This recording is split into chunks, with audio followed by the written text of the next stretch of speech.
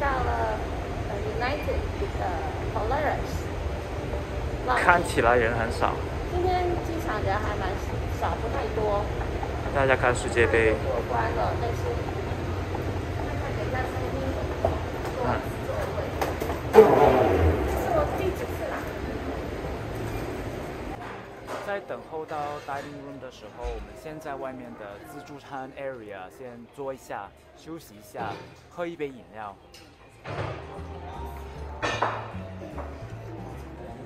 等了不太久，我们就接到讯息说我们的 table 已经 ready 了，我们马上进去坐一下，看一看 menu。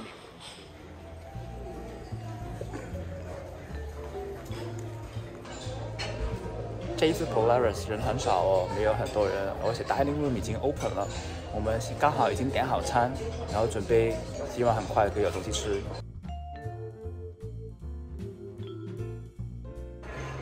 Polaris lunch 人不多，但是我们还是等了十分钟吧。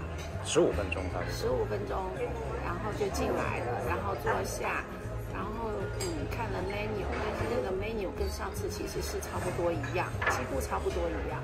然后就我还还是点了上次一样的那个 signature burger，那个 burger 算是里面还可以吧。还可以，难吃，嗯。他之前还有那个炒面还是汤面的，现在都没有。我都不喜欢他们老外做的味道。Over you. 呃，Yes, for me.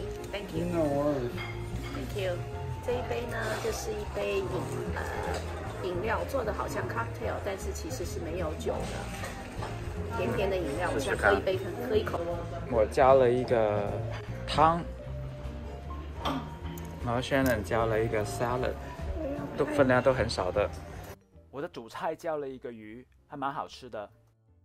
饭后当然要吃个甜品，是 ice cream cookies。午餐吃完了，我们就回到外面的大厅，再休息一下，等上飞机。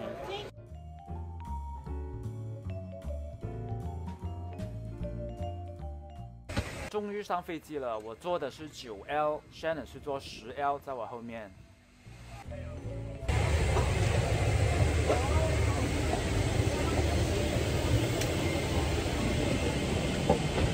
在看什么？你要喝什么？吃什么？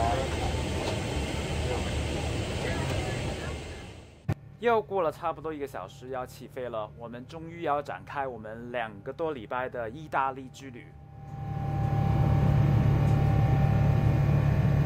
很快又到飞机吃晚餐的时候了，我点了牛排。Dessert 是 Ice Cream Sunday，但是 Ice Cream Sunday cart 还没回来。吃饱了就到处走一走吧。我已经穿过了 Premium Economy，现在来到 United 的 Economy Plus，排列是三三三，人还蛮多的，这个飞机还满满的。到了普通的 Economy，差别跟 Economy Plus 就是那个脚的 Leg Room 比较小一点，可能会觉得很挤，啊，座位比较小，没有这么舒服。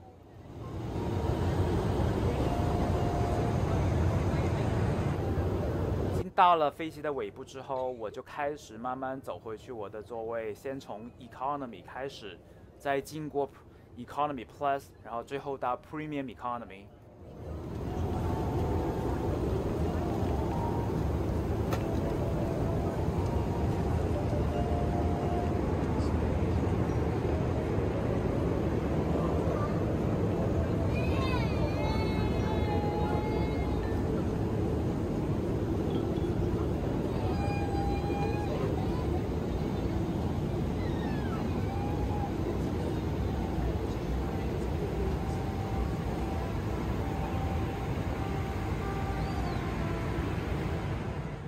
United 的 Premium Economy 的地方不大，只有二十几个座位，真的走几步就是穿过了。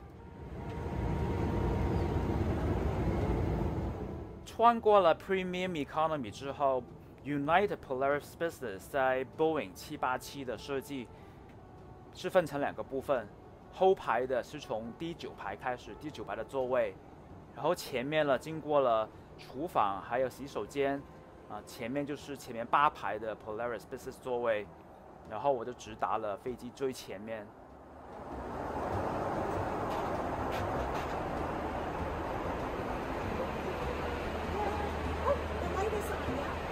睡了一觉之后，快到了，我点了早餐是 French toast。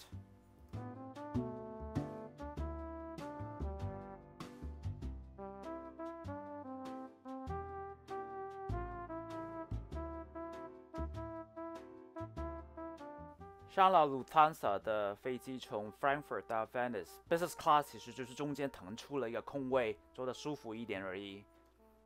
Business Class 还是提供了一个简单的午餐，其实味道还不错。